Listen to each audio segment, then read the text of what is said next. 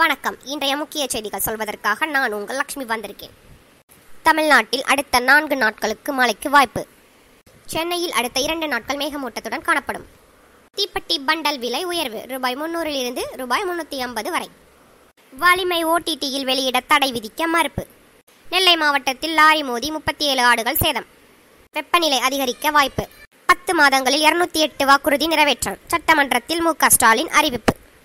இலங்கையால் கைது செய்யப்பட்ட நாகை காரைக்கால் மீனவர்கள் இருபத்தி ரெண்டு பேர் விடுதலை.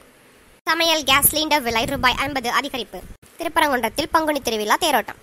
நாடு முழுவதும் புதிதாக ஆயிரத்தி ஐநூற்றி எண்பத்தி ஒரு பேருக்கு கொரோனா பாதிப்பு. ஒரு நாளில் முப்பத்தி மூணு பேர் உயிரிழப்பு. முன்னாள் முதல்வரான லாலு பிரசாத் உடல்நிலை மோசமடைந்ததால் டெல்லி அழைத்துச் செல்லப்பட்டார். நன்றி வணக்கம்.